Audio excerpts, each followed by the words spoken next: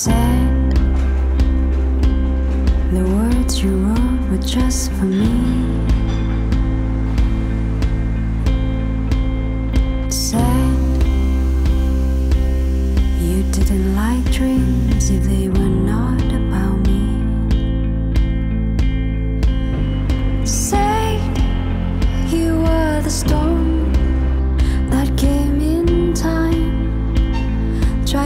feel fine under you because you know I hate the sun when it's not going.